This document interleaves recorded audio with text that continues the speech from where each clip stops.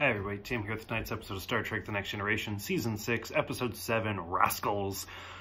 Oh my god, I love this episode. I've loved this episode since I was a child. And the reason I love this episode is it is so, like, insane and so just, like, whatever. Like, it's impossible that it makes this episode good. Like, your whole suspension of disbelief is you're just like, this is ridiculous.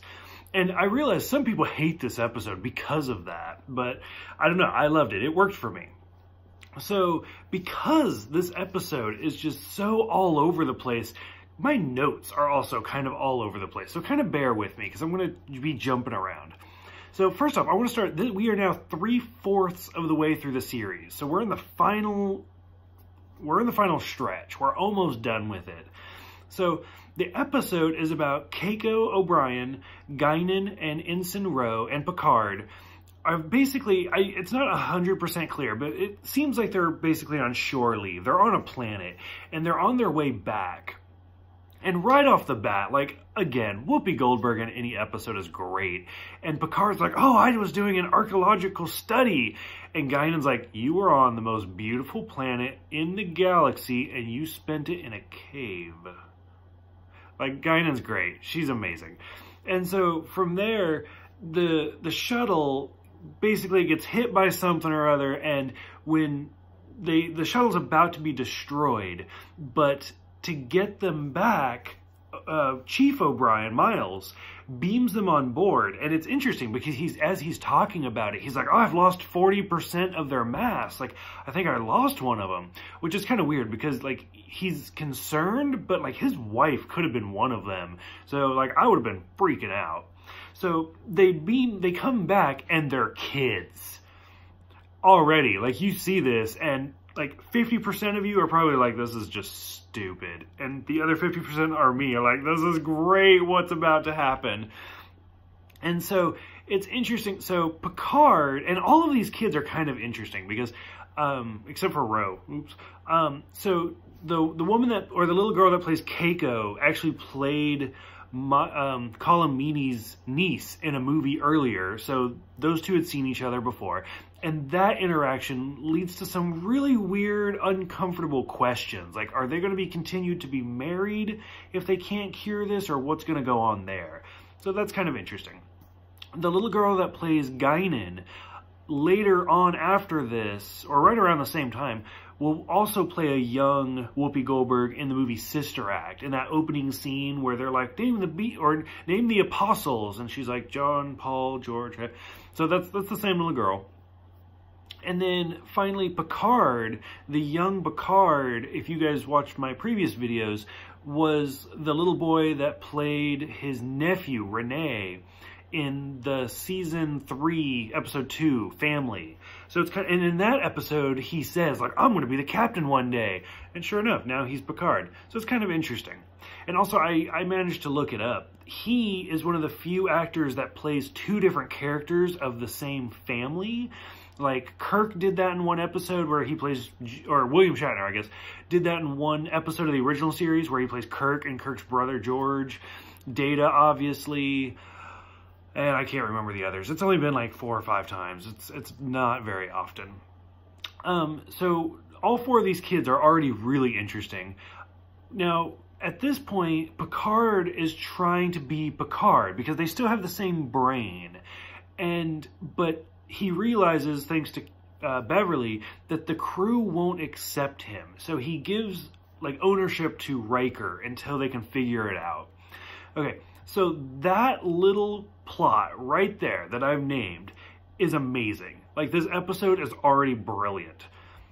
To just knock it out of the park, to go one step further, Ferengi, not to be associated with the Ferengi Alliance, as they make clear, have gotten a hold of two Klingon birds of prey and take over the Enterprise. Like, I can't get over like how asinine this episode is and how just absolutely ridiculous. It's great. It's another Ferengi have taken over the Enterprise and they're they basically like segregated everybody and they're holding everybody hostage. And now from here, like the kids, of course, end up being together, and Alexander Rozhenko, Worf's son, makes an appearance, which I thought that was kind of cool, and because he still treats Picard like he's the captain because he's an older kid, and so they they have some inter interesting interactions there. And then finally, the best, my favorite scene, some people's most hated scene probably, Picard has to go see Riker. And so he just throws this temper tantrum and where he's like, I want to see my dad now, now, now, now, now. And then like he hugs him and like at this point we know it's Picard. And so to see Picard and Riker hugging and it's awkward for them and it's awkward for us and the actors are great because I mean we know Jonathan Frakes is a terrific actor but the the actor that plays the young Picard is doing phenomenal like it's great because his accent is so thick and it's not even Picard's accent but it's he still does such a good job especially in some of the scenes where Beverly's trying to talk him out of it and then he's like thank you number one and then they just kind of look at each other. He's my number one dad. I was like, this is just fucking great. Like, I love this episode. From there, it basically has the usual tie-up. They figure out how to defeat the Ferengi. They get everything okay. And then the interesting thing is they use the transporter to basically cure their DNA. Now, this is not the first time we've seen that, not even in The Next Generation. We saw it in season two, where it was kind of the opposite effect, where Dr. Pulaski was aging, and then we used the transporter to put her back to normal. But even before that, we saw um, there was an animated episode where it was the same thing as this. The original crew were de-aging and they had to use the transporter to basically get them back up to their correct age. So this is almost a recycled plot from that animated series, which if you haven't watched my animated series episodes, I did all 22 episodes in four videos. I'd give them a shot. Some of these, some of those are actually really interesting.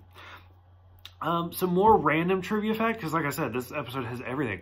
Uh, this episode was directed by Adam Nimoy, uh, the son of Spock, of Leonard Nimoy. And they wanted him to direct that two-parter, the reunification parts one and two, but he was unavailable. But he was finally able to direct this episode, and then he directs some after this. Gotta flip through my notes, and that's about it. So like I said, I love this episode. The, the kid actors do great. I mean, they're they're awkward, they're not comfortable, just like adolescents, and we're used to seeing the particular actors like Whoopi Goldberg or Patrick Stewart. So, but I think the kids do amazing in this episode, and I think all of the actors do episode. This this episode is just so well done. I love this episode. Now, I'm sure some of you hate this episode. If you if you do hate it, or you thought it was a weak episode, even um, Rick Berman, one of the producers hates this episode. If you guys don't like it, please tell me why. I mean, I'm probably already listed, but go ahead, let me know why, because I like having discussions with you guys. If you guys are like me and you love this episode, go ahead, let me know, because we can share in our love for this episode. So go ahead, drop me a whole bunch of comments. Thank you guys for everything. I will see you guys next time for a fistful of datas.